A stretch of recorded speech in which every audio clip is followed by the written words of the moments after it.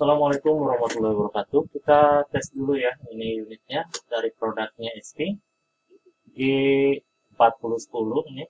Saya tes dulu unitnya. Ini bisa juga buat krise ya, buat krise dan juga buat dokumen ukuran hanya sampai 4 buat Edi Hartono S ya di Tokopedia. Saya tes dulu unitnya ini saya sudah masuk di uh, tadi scan di krise untuk preview ya. Ini hanya biar di preview. Saya coba preview ulang biar ketahuan nanti proses scanning previewnya. Nah seperti ini. Ini adalah scan previewnya ya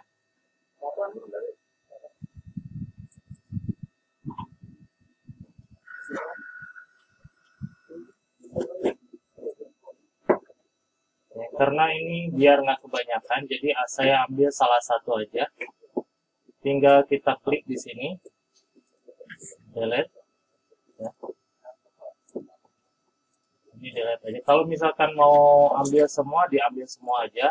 Nanti tinggal dikondisikan aja ya. Tapi di sini saya cuma ambil satu frame aja.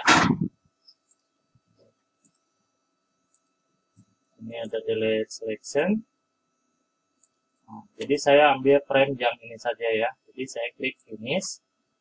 Jadi tunggu sampai prosesnya nanti selesai ya.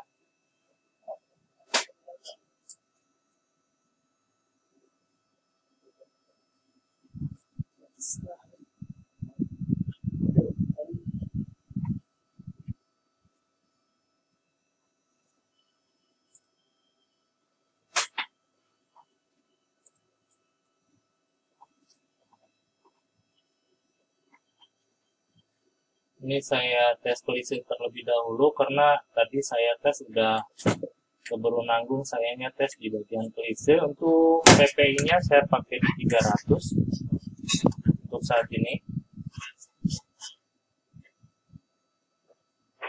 Nanti kita lihat untuk pengaturannya ya setelah nanti setting di klisenya.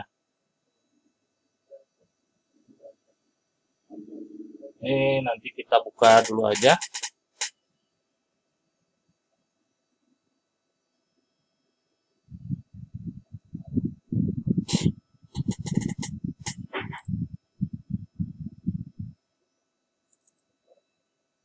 nanti diperhatikan di uh, kolom finish ini. Nanti kalau misalkan sudah selesai nanti dia akan berwarna kuning ya. Ini kan belum tuh nanti di sini akan berwarna kuning.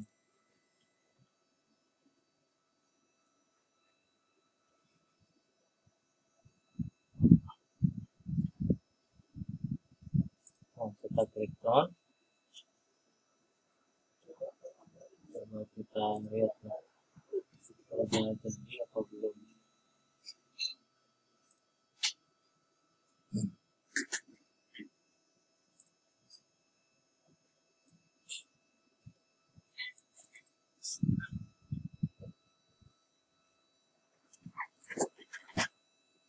dia untuk hasil foto yang barusan ya.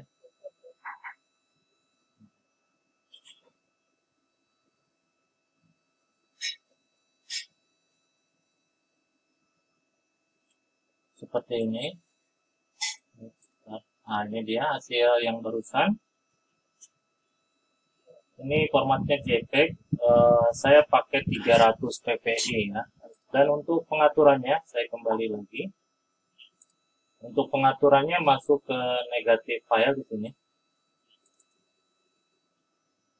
Negatif file. Ini ya ini harus dicentang negatif file Terus nanti di sini ada negatif TMA. Ini ada settingannya di sini. Ini negatif TMA ya.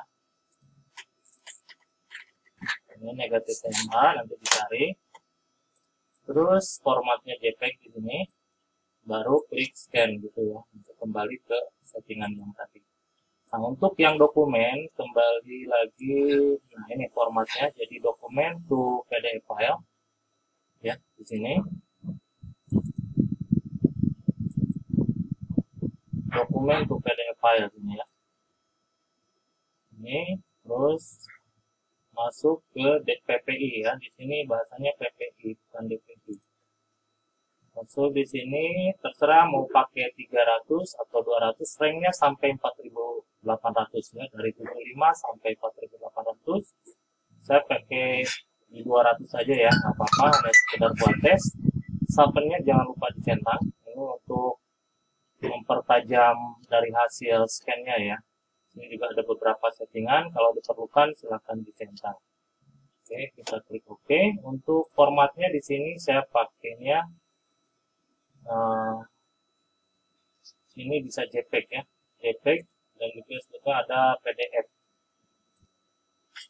ininya ganti dokumen nih untuk dokumennya ya karena untuk desainnya saya sudah selesai. Nah di sini tambahannya jadi ada banyak nih kalau misalkan jadi dokumen ya kan? Di sini bisa pakai PDF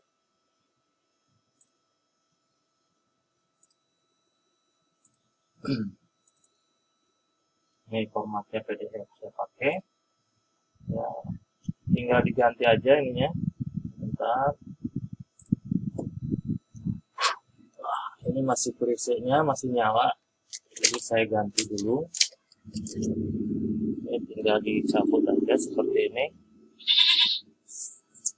Kita tutup. Pasang kembali di sini. Kita tes dokumennya ya. Untuk ukuran kertasnya A4 saya taruh di sini dan ini diposisikan di sudut kanan bagian atas. Saya tutup.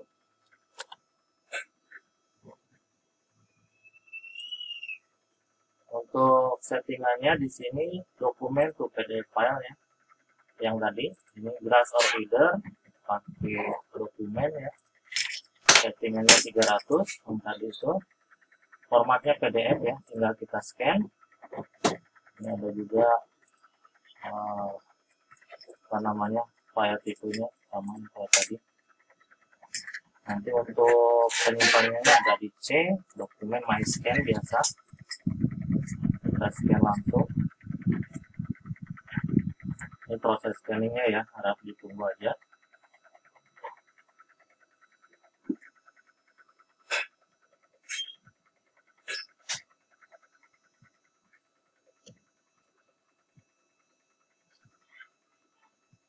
ini lagi masih proses preparing.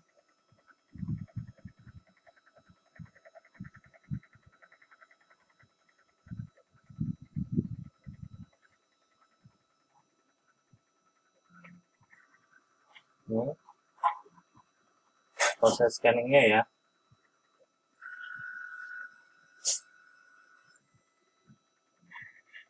Oke, tunggu sampai proses. Di sini ada kuning. Nah, seperti ini kuning. Kita klik finish. Sudah selesai. Kita lihat di C ya. Di dokumen. My scan. PDF ini.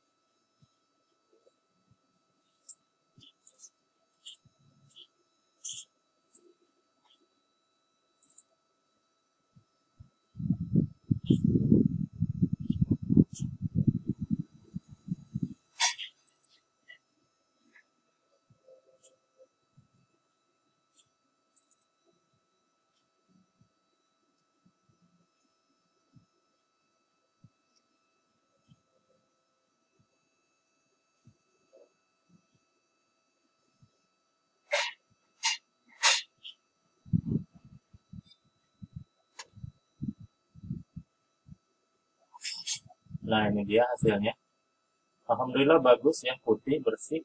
Nanti untuk tulisannya juga masih jelas ini ya. Masih jelas, masih jelas kelihatan. Oke, sekian terima kasih buat Pak Dedi ya di Tokopedia. Jadi Hartanto di Tokopedia. Sekian terima kasih. Assalamualaikum.